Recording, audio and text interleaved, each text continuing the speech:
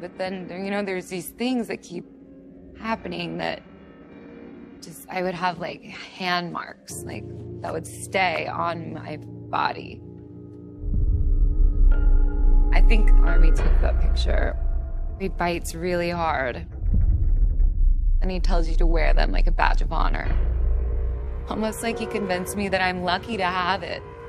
It's like, as fucked up as that sounds, at that time, I was interpreting that as love. Like looking at it now makes me sick. And